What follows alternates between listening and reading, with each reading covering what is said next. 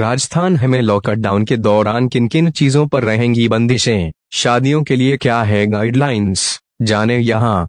राजस्थान हमें अब 10 मई की सुबह 5 बजे से 24 मई की शाम 5 बजे तक सख्त लॉकडाउन लागू रहेगा। कोरोना के बढ़ते प्रकोप की वजह से राजस्थान में संपूर्ण लॉकडाउन का ऐलान किया गया। राजस्थान में अब 10 मई की सुबह 5 बजे से 24 मई की शाम 5 बजे तक सख्त लॉकडाउन राजस्थान लॉकडाउन लागू रहेगा। वहीं इकतीस मई तक शादियों पर पूरी तरह से पाबंदी रहेगी। शादियों को लेकर अशोक गहलोत अशोक गहलोत सरकार ने कई गाइडलाइंस जारी की है। बता दें कि राजस्थान में 10 से संपूर्ण लॉकडाउन है, लेकिन इसकी शुरुआत कल यानी शुक्रवार से ही हो जाएगी। ओल्सो रीड देश राजस्थान लॉकडाउन गाइडलाइंस राजस्थान में लॉकडाउन के दौरान किन किन चीज़ों पर रहेंगी बंदिशें? शादियों के लिए क्या है गाइडलाइंस जाने यहाँ। राज्य में पहले से ही weekend lockdown weekend lockdown in Rajasthan लागू है। राजस्थान में शुक्रवार शाम छह बजे से लेकर सोमवार सुबह पाँच बजे तक वीकेंड लॉकडाउन रहेगा। इसके तहत बाज़ार पूरी तरह बंद रहेंगे और सोमवार सुबह यानी 10 मई से सरकार ने संपूर्ण लॉकडाउन लगाने की घोषणा कर दी है। ओल्सो रीड देश लॉकडाउन इन राजस्थान राजस्थान में 10 से 24 मई तक संपूर्ण लॉकडाउन शादियों पर 31 मई तक पाबंदी। राज्य में 10 मई की सुबह 5 बजे से 24 मई की प्रातः 5 बजे तक लॉकडाउन रहेगा। राज्य में विवाह समारोह 31 मई 2021 के बाद ही आयोजित किए जाएँ।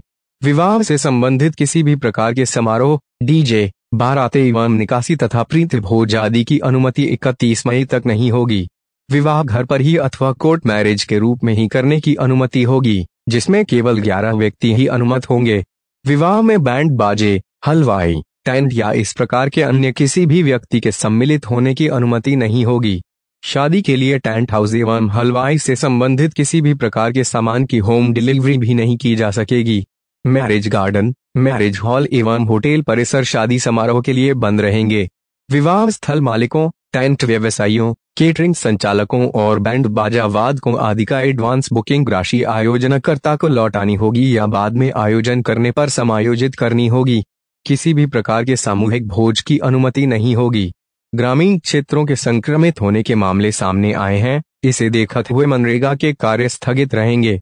इस संबंध में ग्रामीण विकास विभाग विस्तृत दिशा निर्देश जारी करेगा।